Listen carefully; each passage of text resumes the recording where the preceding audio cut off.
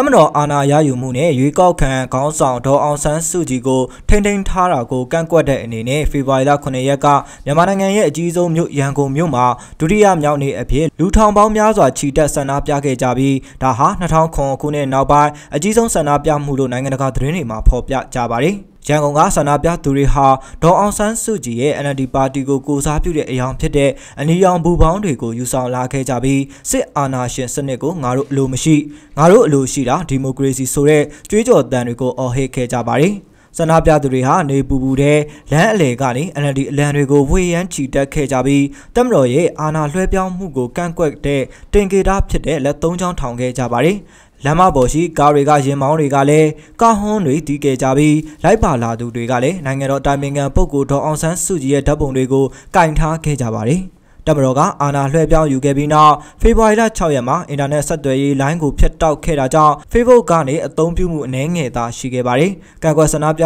သူအများအပြားဟာဖေဖော်ဝါရီလ6ရက်ကစတင်ခဲ့တယ်လို့နိုင်ငံတကာသတင်းတွေမှာဖော်ပြကြပါတယ်။